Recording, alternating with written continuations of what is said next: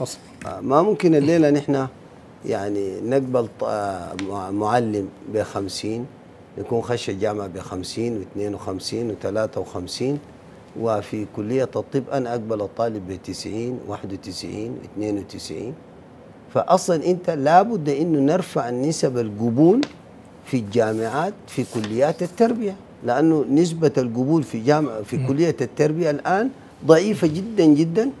وده السبب الرئيسي اللي خلى الأستاذ ما يكون مؤهل تأهيل جيد. معنا الآن الأستاذ هو أهم أهم شريحة الآن موجودة عندي. ما ممكن بالتأكيد. أنا زول خاشي ب 52 و53 دار يديني مخرج جيد. طيب. نعم. دي واحدة من الإشكاليات. دي واحدة من الإشكاليات وإشكالية مهمة جدا. طيب. الشيء الثاني تمهين مهنة المعلم. يعني ما أي زول يمسك طبشيرة ويمشي يدرس. قلنا زي ما الآن إذا أنت في مجلس المهن الطبية إذا أنت دكتور إذا ما أدوك شهادة من مجلس المهن الطبية ما بتزاول مهنة الطب كذلك الصيادلة إذا ما أدوك شهادة من مهنة من الصيدلة أنت ما تمارس مهنة شنو؟ الصيدلة ولو ف- عقدنا مقارنة أستاذ عوض يعني نعم. أيهم أهم في, في الاثنين الأهم حكاية الطب أنا أحرص عليه في الشهاده ولا المعلم اللي المعلم جاء؟ هو أكيد المعلم. أنا لازم أحرص على إنه يكون عندي معلم جيد. والمعلم الجيد ده لازم أنا أديه جرعات بتاع التدريب. الآن ما في جرعات بتاع التدريب مستمرة. يعني الآن إذا كانت ميزانية الدولة في التعليم 1% أو 2% يعني ميزانية التعليم إذا كانت 1% أو 2% أنا أطور التعليم كيف؟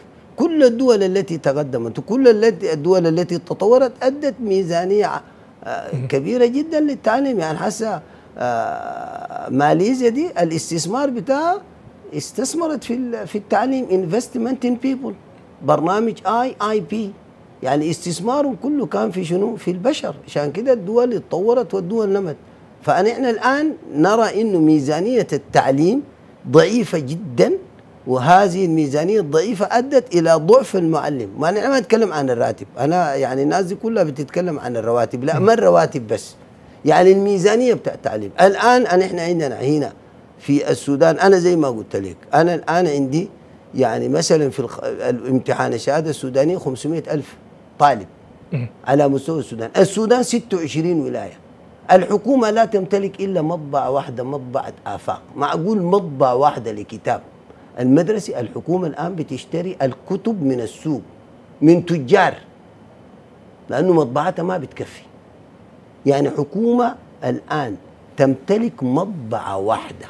معقول مطبعة واحدة في السودان تكفي كتب مناهج ل 26 ولاية دي إشكالية كبيرة جدا. يعني المناهي ذاتها مشكلة. يعني المناهي ذاتها الآن بقت مشكلة كبيرة جدا.